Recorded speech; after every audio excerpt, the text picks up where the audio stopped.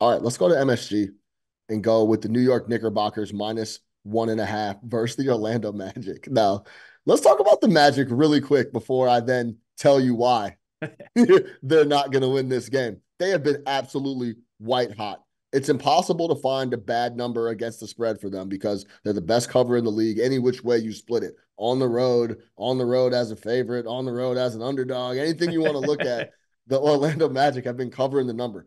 42 21 against the spread, 66.7% in their last 16 games. That's number one in the league, by the way. Second are the Oklahoma City Thunder, of course. Last 16 games, straight up, they're 13 and 3. The Orlando Magic have been playing phenomenal ball.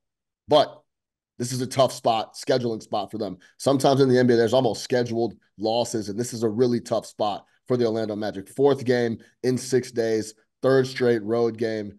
And I believe the Knicks are going to focus on really making it hard on Paolo Banchero. Six triples against them last time they played. He was six of 10 from three. He's only done that three times in his career. It was an absolute big time game from Paolo Banchero. And the, the Magic have actually kind of owned the Knicks this year. They're 0 3 against them.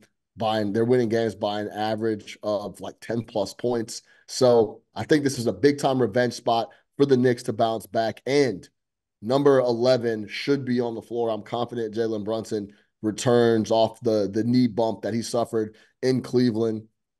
I'm confident that he's going to go. That's the only reason I'm backing the Knicks and Jalen and the Knicks here in this spot is because I believe Jalen Brunson's going to be back. They need him on the floor. Also, I want to I want to talk about this really quick. Julius Randle deserves some love. All the all the hate that he gets, Lord, Knicks fans can't wait for that guy to get back on the floor. So pipe down on any Julius Randle hate because now it's been a stretch where he's been off the floor, and boy, do they miss him. All right. They played three times this year, as I mentioned. Magic are 3 and 0. It was 10.3 points is uh was the gap there, the the margin of victory in those three games. But in the last one, no Donte DiVincenzo, no Bojan Bogdanovic, and no Isaiah Hartenstein. Those three guys should go along with Jalen Brunson. The Knicks are going to be rested. They haven't played a game since Tuesday. They're seven and five against the spread when coming off two or three days of rest. The rest was very much needed, especially for guys like Josh Hart, who have been playing 40 plus minutes, 42 plus minutes a night, trying to work and, and grind through these injuries until they get back. Knicks also 14, 10, and 1 ATS coming off a loss. I love that number for the New York Knicks. I think with Brunson coming back at home, uh, shout out our guy Jay Money, three times revenge spot here for the New York Knicks. But I do think they'll be coming in ready, focused, ready to play against a team that they've been getting beat up by all year long. I expect the Knicks to bounce back, get a W here with Jalen Brunson on the floor. If you don't want to lay the one and a half, I'm not mad if you take the money line. I think this is a this is a first half full game win for the New York Knicks. I think they're going to come out and be ready to go, led by Jalen Brunson. Any thoughts on uh, me taking and fading the white hot magic and taking the Knicks here, Jim Turvey.